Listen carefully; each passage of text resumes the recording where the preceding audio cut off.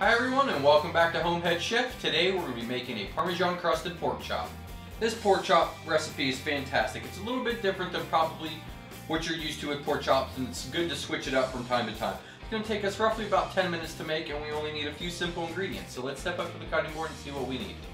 For this recipe we're going to need 4 to 5 pork chops, some salt and pepper, 1 cup of freshly grated Parmesan cheese, 2 eggs, 1 cup of Italian breadcrumbs, and 1 teaspoon of onion powder and garlic powder.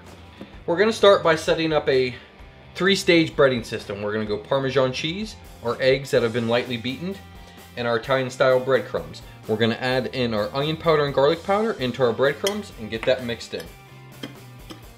Now we're going to season both sides of our pork chops with some salt and pepper. Now we're going to bread our pork chops and we're first going to go into our Parmesan cheese on all sides. Get that coated. Give it a little shake. Going to go into our eggs. Get that well coated. Then into our breadcrumbs. Same thing. We're going to shake off the excess. We're going to set these aside and we're going to heat up about three tablespoons of vegetable oil. Our oil is nice and hot. We're gonna add in our pork and we're gonna fry these about three to four minutes per side.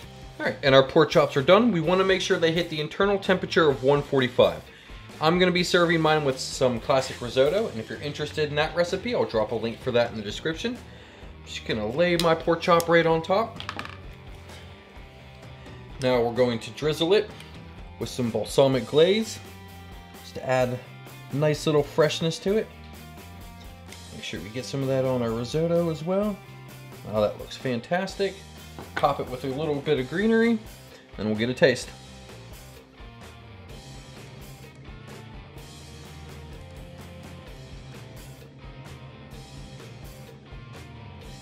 All right, let's dig in. Myself a nice little bite of this pork chop.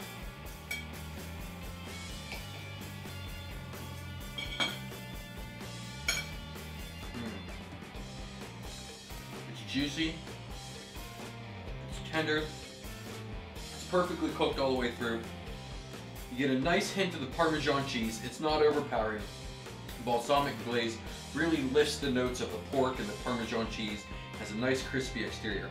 I hope you enjoyed this recipe, if so, hit that thumbs up button. If you're new to the channel, go ahead and subscribe so that way you don't miss any of our videos. If you're interested in the outdoors, I also have an outdoor channel. I'll drop a link for that in the description. Thanks for watching. See you in the next one.